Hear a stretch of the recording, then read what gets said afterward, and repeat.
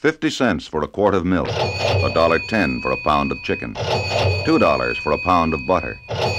Pay food prices like that? You can thank America's farmers, you don't have to.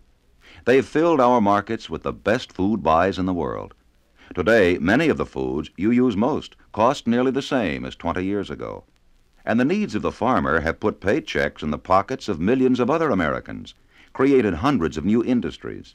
Three of every ten jobs in private industry today are directly related to agriculture.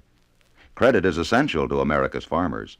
And that's why 50 years ago, President Wilson signed the Farm Loan Act, which gave rise to the Federal Land Bank and a credit system to provide needed capital to farmers.